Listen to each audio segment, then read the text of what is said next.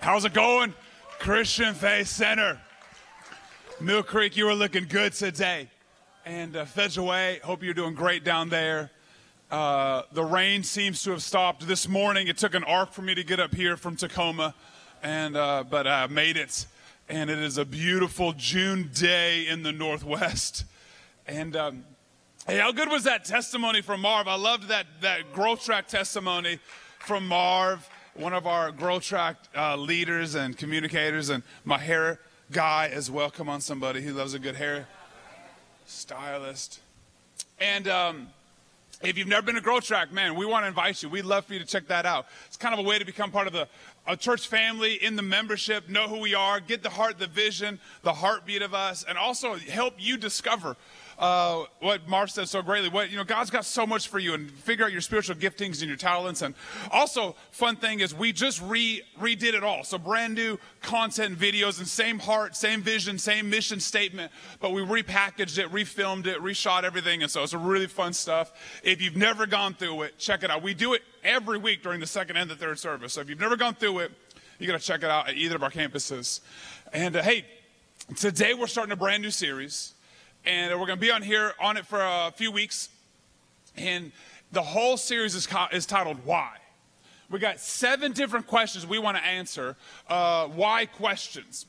Have you ever asked a question, why does God not answer my prayers? Why does good things happen? I mean, why does bad things happen to good people? Why does God let bad things happen?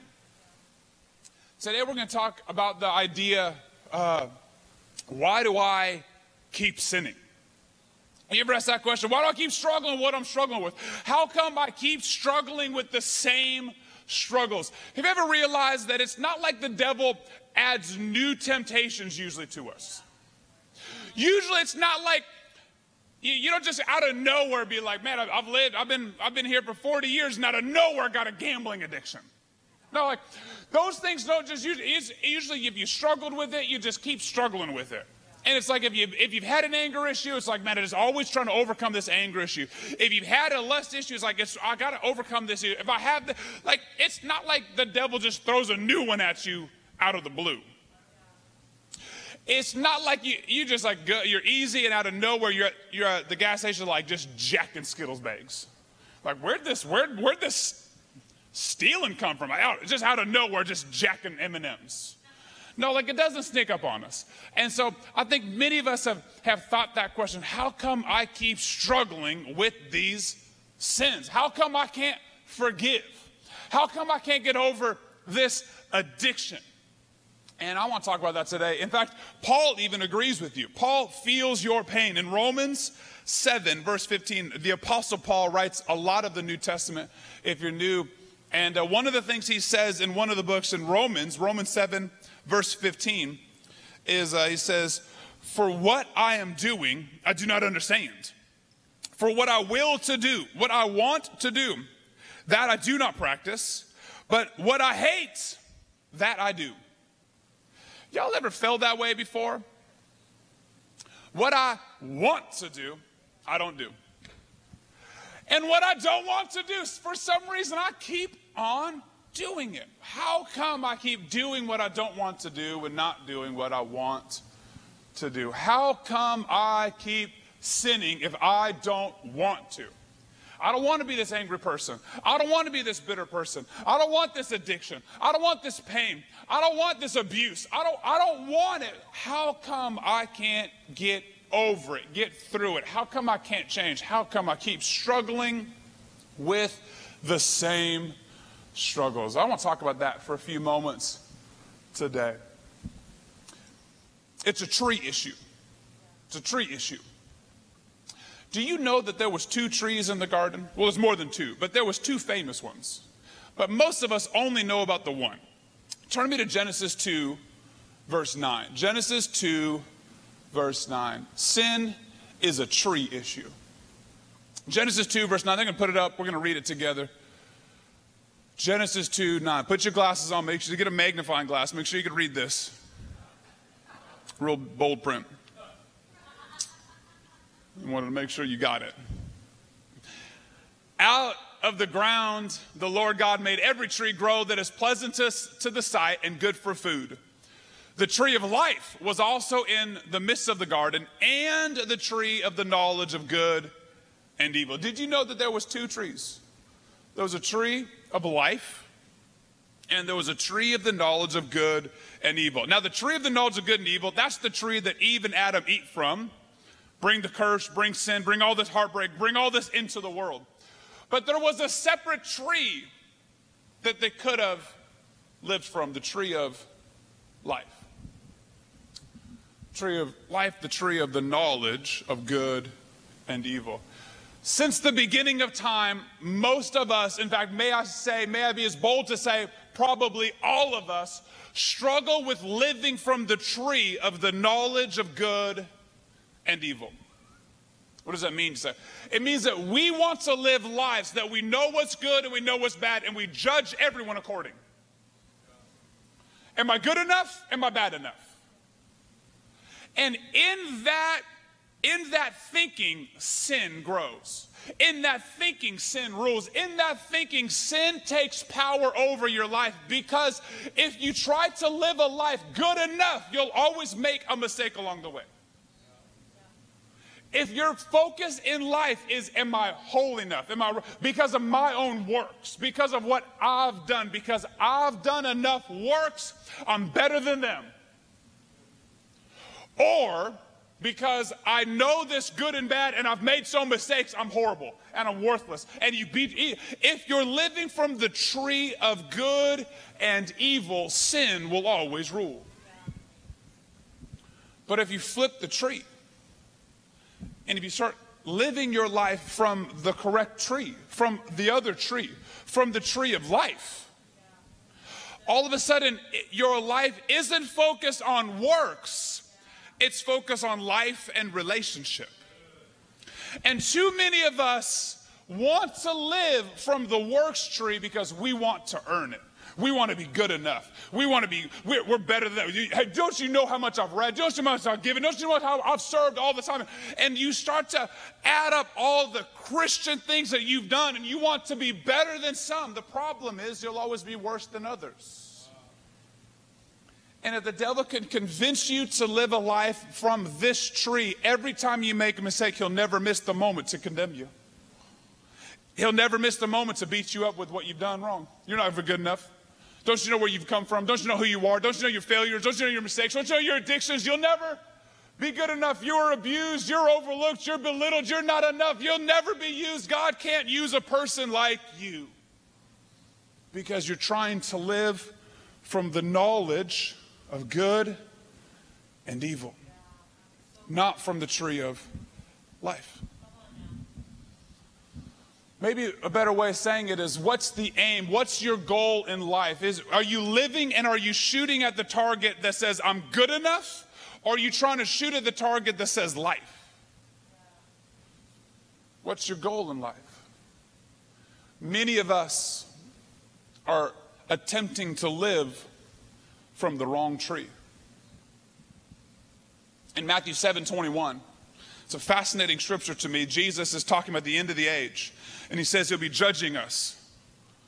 And he says he'll put some people in front of him, divide them into two groups, and to one group he'll say, Depart from me, depart from my presence, from eternity with me, depart from me, for I never knew you. I didn't know you. I don't know who you are. And they'll reply, But but Jesus, we, we did works in your name. We cast out demons in your name. We did signs and wonders in your name. We did all this good stuff. And to say, yeah, yeah, yeah, I get that you did a lot of good. I don't know if Jesus is going to air quotes us. I'm not sure, but I feel like he should, you know. All the good stuff you've done. But I didn't know you. I don't know who you are. I, I don't, who are you? You see, because if we live from the wrong tree, we'll value the wrong things. And we'll be that group standing before Jesus at the end of our life saying, Jesus, look at everything I did for you. And he'll say, Who, who, who, are, who are you? Who, who are you? I, I don't know your name. I, I don't know your likes. I don't know your passions. I don't know your fears. I don't know your I don't know the things that you had to get over. I don't know the things we worked through together. I don't know what we did together. I don't I don't know you. But I cast out demons in your name. Yeah, but I didn't I don't I didn't see you in a quiet place. I didn't hear you when you were hurting. I didn't I didn't know you. I don't I don't know who you are. Depart from me. I don't know you. Also, what scares me is the idea that their works were casting out demons, doing signs, wonders, and miracles. That seems like a lot of good stuff. Dare I say, more than most of us. Dare I say, more than most of us. And even those people, Jesus is like, yeah, they're going to be sent out of heaven, hurting, lost for eternity. Not because of what they did, but because of who they didn't know because they were living from the wrong tree. So they were focused on sin and they were focused on good works and they were focused on what they did, but they lost sight of who it was for. They lost sight of the relationship. And many of us today would unfortunately find ourselves in that same group, judging ourselves and judging others based off of our works and missing the relationship. But Jesus said, I don't know them. Does Jesus know you? Do you know Jesus? Or are you living this Christian life full of works, full of attempts, full of trying? But you just keep failing. See, when you when you flip it and you say, listen, no longer am I going to try to be a Christian and just not sin but I'm actually going to be a Christian because I simply love Jesus. Then the not sinning just becomes a part of your life because it just drifts away because your pursuit of Jesus is so natural. It's so passionate. It's so life giving. Like, I just want to find Jesus and follow Jesus and be like Jesus. And in the process, I'm like, wait a minute, that, that addiction fell off. That judgment fell off. That bitterness just kind of went away. Because no longer is the not being bitter the focus, it's where's Jesus? It's the relationship with Jesus that grows. And as a byproduct, the fruit in your life changes. But too many of us are so focused on the fruit that we've never spent any time in the roots.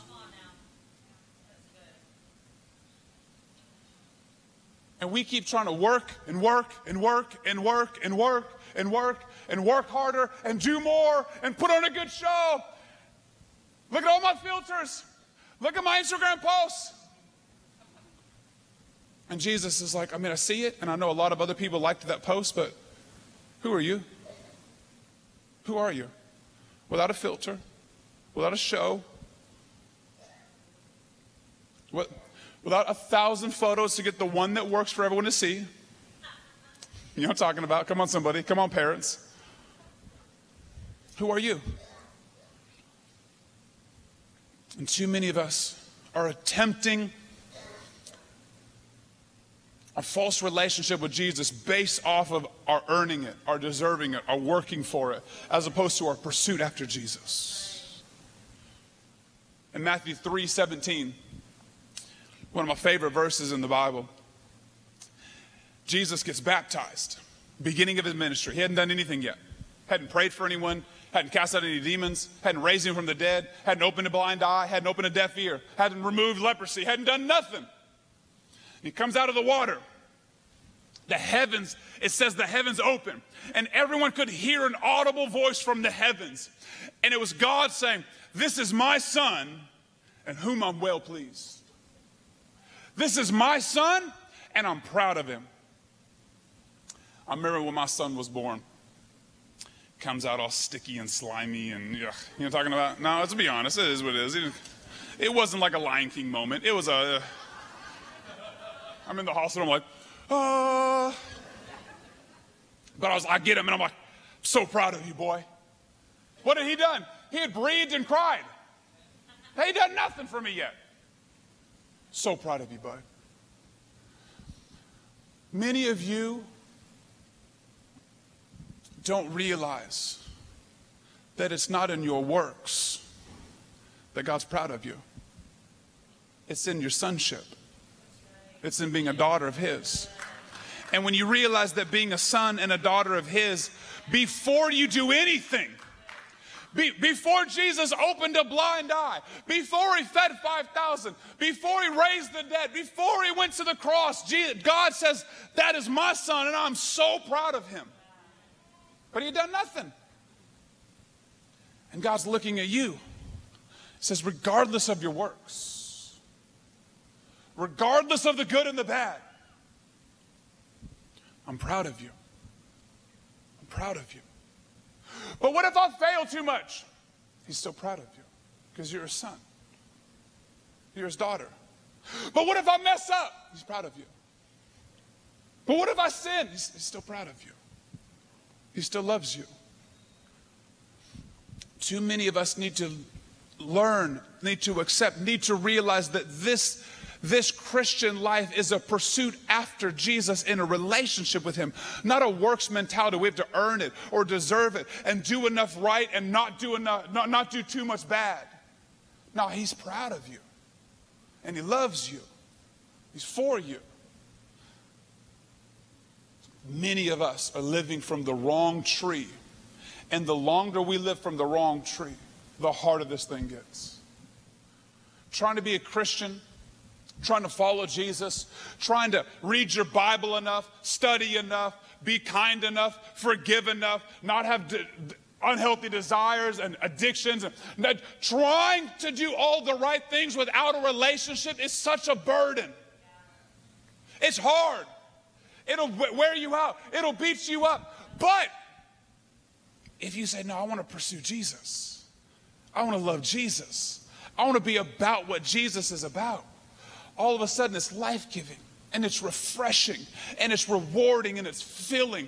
And you'll look back and realize, wow, like I no longer need what I thought I needed. I no longer act the way I act. I no longer have that anger issue. Why? Because I'm no longer focused on the fruit. I've moved my attention to the roots, the healthy relationship. And that healthy relationship started producing in my life the fruit that I always wanted. Not only is it a tree issue, it's a belief issue. Turn with me to John 14, verse 12. It's not just a tree issue, it's a belief issue. Most assuredly, I say to you, he who believes in me, the works that I do, he will also do. And greater works than these will he do. Now, catch this. First off, this, this verse doesn't work if you're coming at it from the wrong tree. The, like this verse, this verse has gotten more Christians tied up in a knot if they're coming at that verse from the good or the bad tree. Because all you see is works, works, works, works, works, works, works. I just gotta do works, I gotta do works, I gotta do greater works. Like, good luck doing greater works than Jesus with no relationship with Jesus. Let me know how that works. But if you come to Jesus from the tree of life, from a relationship that says, I know you, then it says, Those that believe, greater works will follow. Jesus knows that what you believe produces how you act. Your beliefs are creating the works in your life. Your beliefs are creating actions in your life. And let me say it this way what you do is the fruit of what you believe. I believe in gravity. And because I believe in it, I respect it. I don't just jump off of this stage because I know the gravity is true. And because I actually believe it, I act according. I don't jump off of buildings. I don't jump off of high, I don't, I'm not up on a skyscraper just like, I don't think gravity is real right now. Whoop. No, no, no. That belief creates action or a lack of action because of the belief in it. Many Christians claim they believe things about Jesus, but have zero actions to prove it. The Bible says faith without works is dead. What is it trying to say? It's trying to say if you claim to have a belief but follow it with no actions, it's not a real belief. Because if I started jumping off of then it would say, I don't think he gets the whole gravity idea. But because I believe in gravity, it defines my actions towards it. Sin is connected to your beliefs. Let me say it this way every sin is a broken belief in God. Every time you sin, it exposes an area in your life that has a broken belief in God. I'll prove it. You guys, uh, there's like a group, Federal Way, that Mill Creek doesn't believe me. Just a second, let me prove it. Mill Creek's like, I don't think he's telling the truth right now. Romans 14, 23. I'm going to read it from my notes because they're making it small up there. Can you see it? Kidding. Romans 14, 23 says, anything that is not done in, can you read it? In faith? Anything that's not done in faith is, is sin. Well, that seems extreme. What is that? Any, what is faith? Faith is your beliefs, your beliefs in God.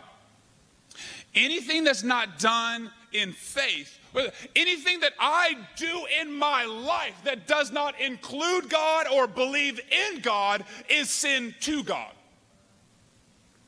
Ooh, y'all got to get this today.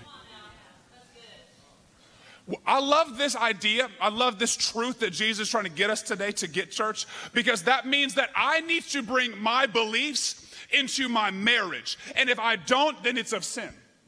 And I need to bring the belief that I have in God into my parenting, or I'm bringing sin to that area. I need to bring God into my business. I need to bring Him to my schooling. I need to bring God, catches into the conversations that I have with the barista.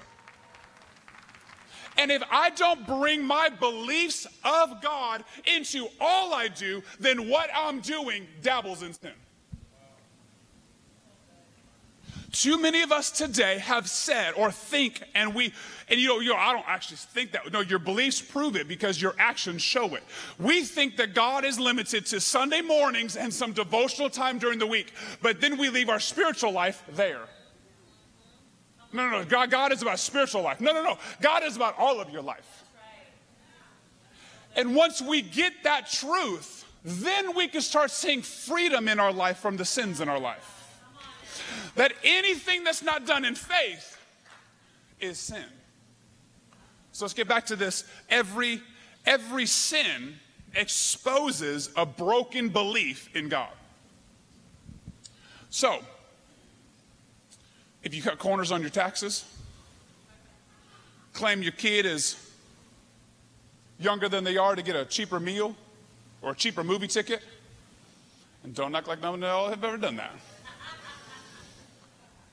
Anytime you cut corners to save some money, what you're really saying is, I don't believe that God is a provider, so I'm gonna have to help him in this process.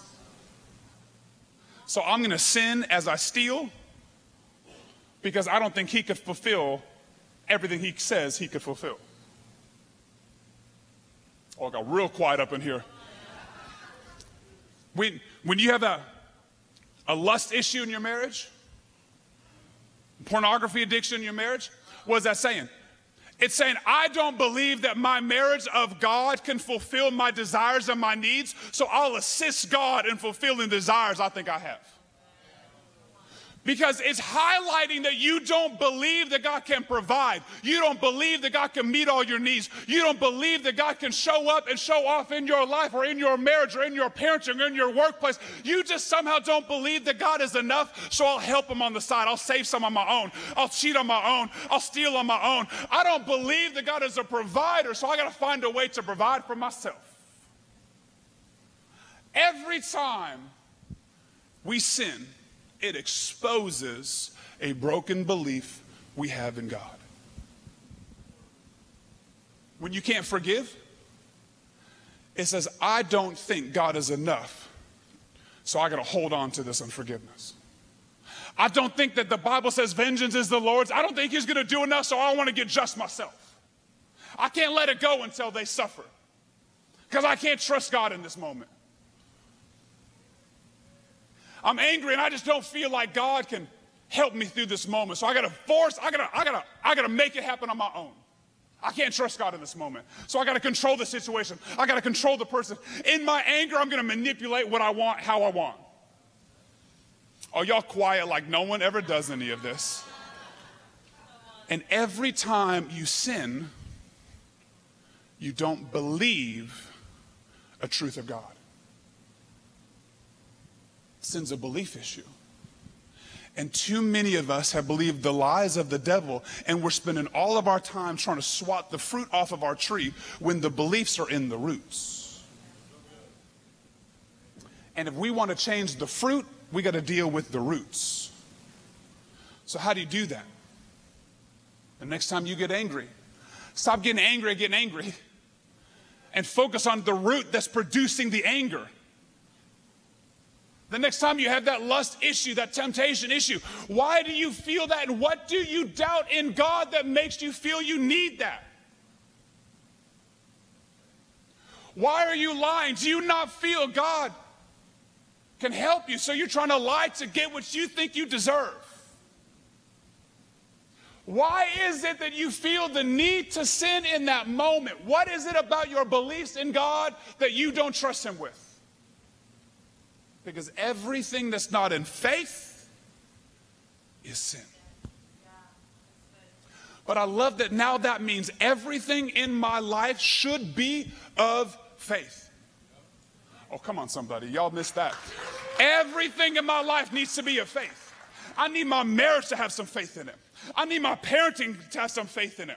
I need to have my conversations to have some faith in it because that brings God into everything that I do. And all of a sudden, I'm in His will, I'm in His way. I've added God and His presence to, and I'm not just limiting God to Sundays, to devotional time moments, to a few moments in the car where I'm listening to worship. No, no, I'm saying, God, you can have it all because I need you in all of it because I'm not trying to live in sin.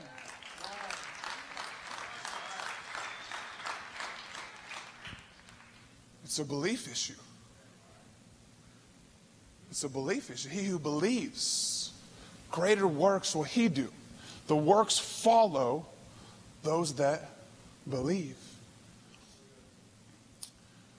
What do you believe? What are you doing? Because what you're doing is showing what you believe. And too many Christians don't truly believe their beliefs. You say that God's a provider, but you can't tithe.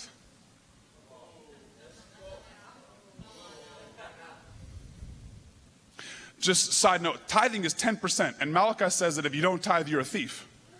It doesn't say you're a giver, just in case you're wondering. Oh, got real quiet, Coco. Third service wasn't ready for this, volley. I don't know. Federal Way's like, we're, we're breaking up. We're breaking up. We lost the feed. I don't know where he went. Pastor gone. Like we just.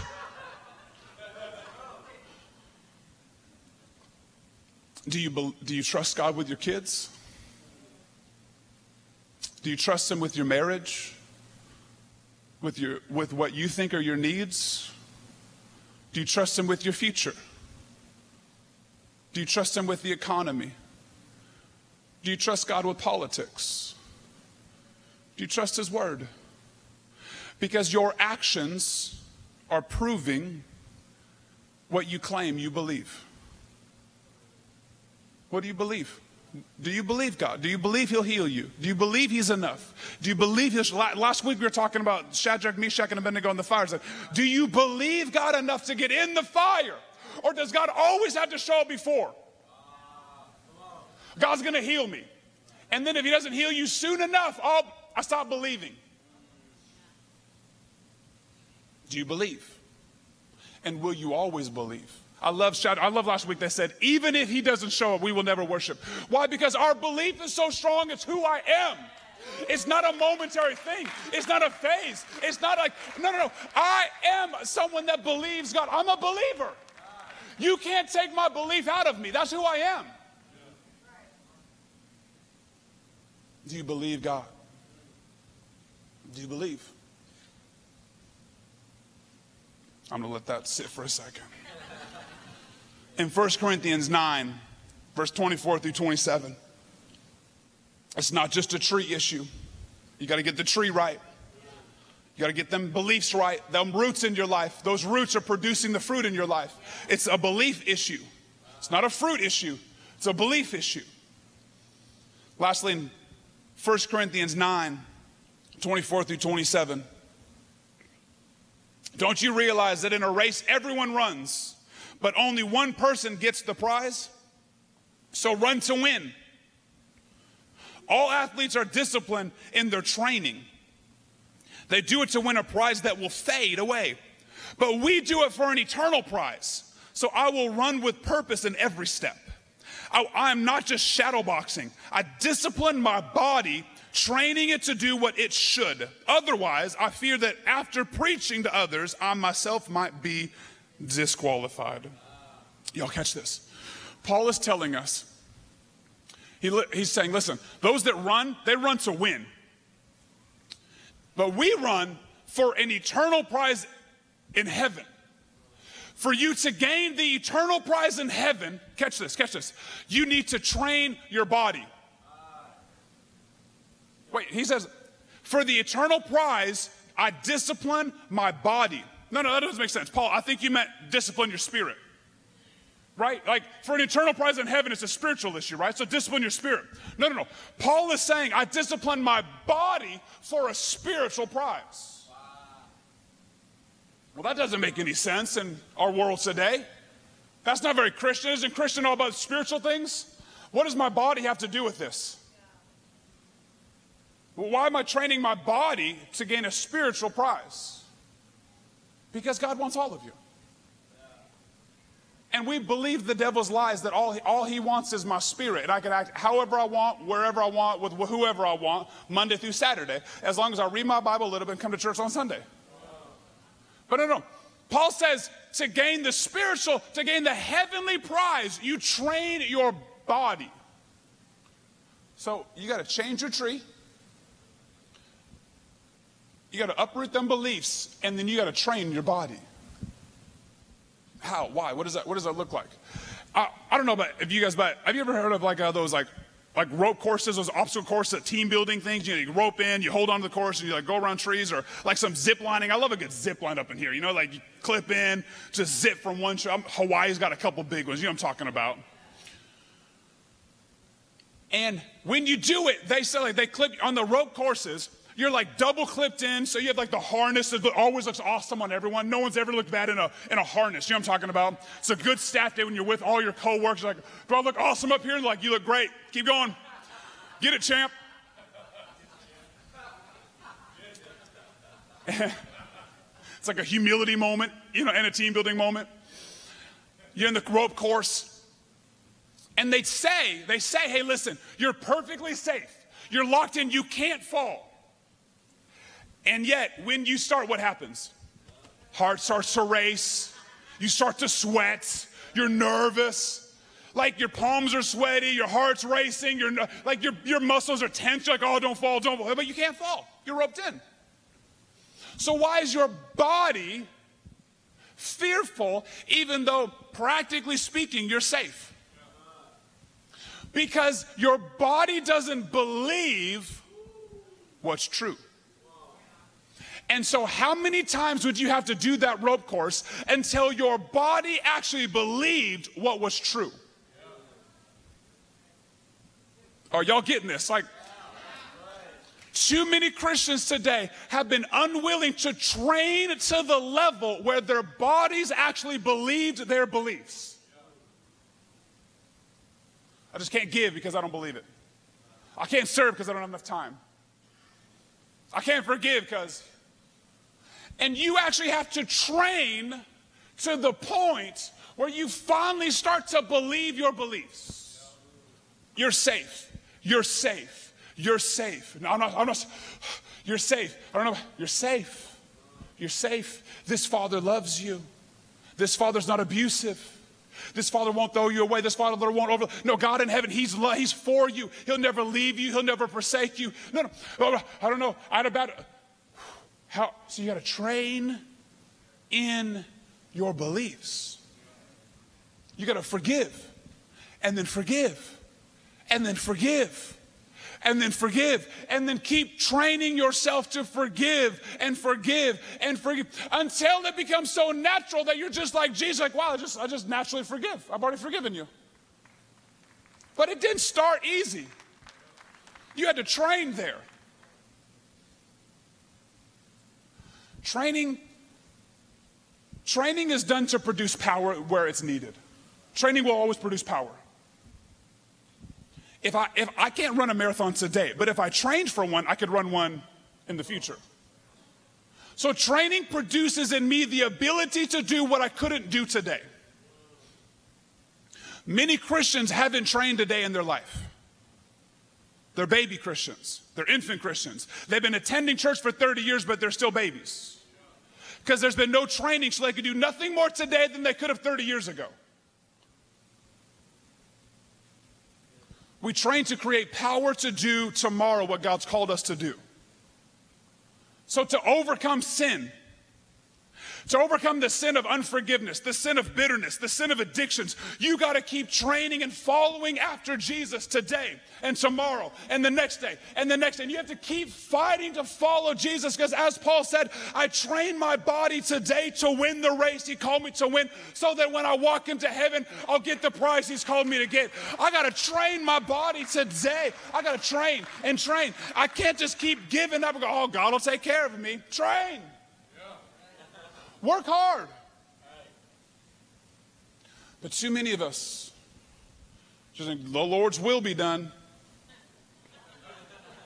The Lord's will. Like turn southern or something. I'm not sure. It's just like a real, you know, God. What? Like, if, if God wanted you to run a marathon, He would expect you to train for it, not just say, do it tomorrow. There's a training, and in your training, you gain power. I'm going to train to forgive, train to forgive, train to forgive.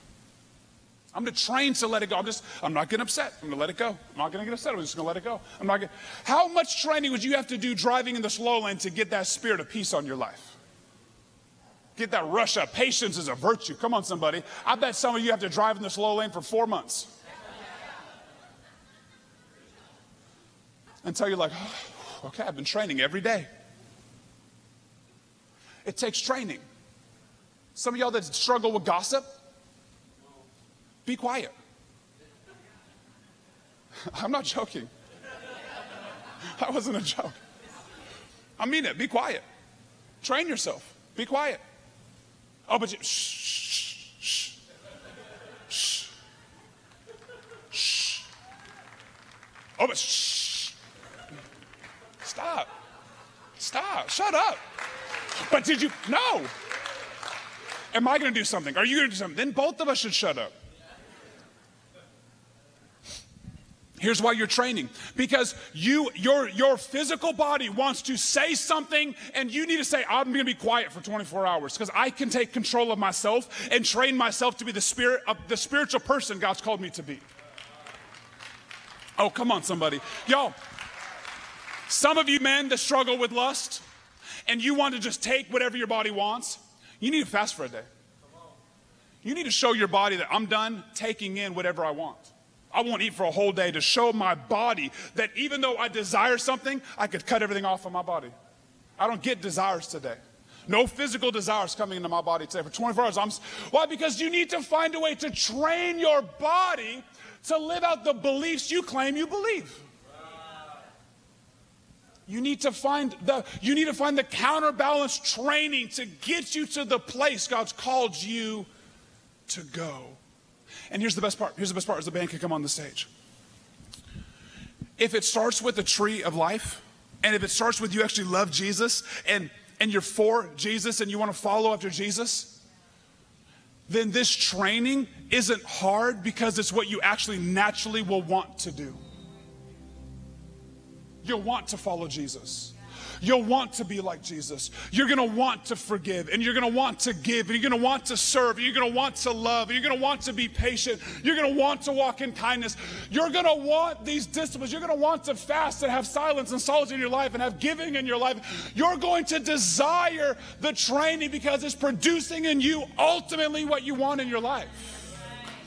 But too many of us are still focused on good and bad, right and wrong. And so it's too hard to overcome the sins in our life because we've started from the wrong points.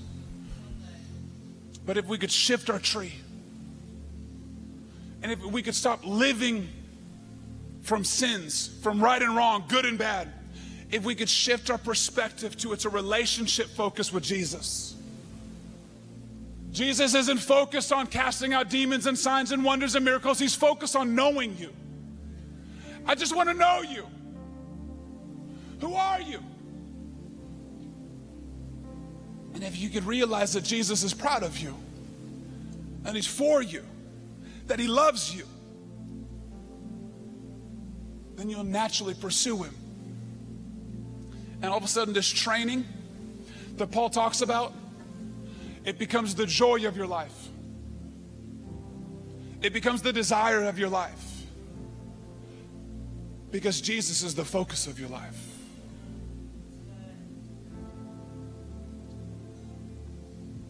Sin is the fruit. And too many of us have been spending our whole life trying to swat the fruit off the tree. But we've never slowed down and said, wait, what are the roots that keep growing this fruit? What can I do today to change these roots, to grow in my life the fruits of the Spirit that God's called me to grow? Come on, let's all bow our heads and close our eyes today.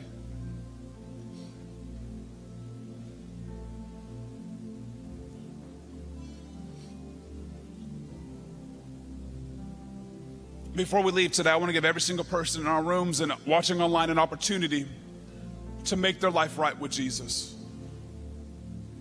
If you've never started a relationship with Jesus, this is your moment. If you've never asked Jesus to come into your life, this is your moment. Or maybe once in your life you follow Jesus, but you realize that your life has been much more focused on right and wrong, good and bad, and not a relationship with Him, and you need to recommit your life to Him today. This is for you.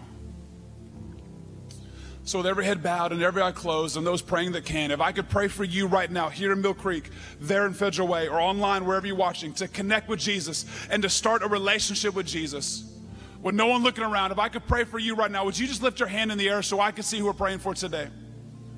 Lift your hand with boldness and say, This is, this is for me. You're talking to me right now. I need this relationship with Jesus. I need to start this. I need to start a relationship, not a works minded thing, not a, a performance, but I need to start a relationship to pursue after Jesus. I see your hand. I see your hand. Who else in Mill Creek wants to say, before we leave, pray for me? Before we leave, pray for me. Come on, Federal Way, reach up. Reach up to heaven if I'm talking to you. If you need to start this relationship with Jesus, this is for you. Don't hold back. Don't be hesitant.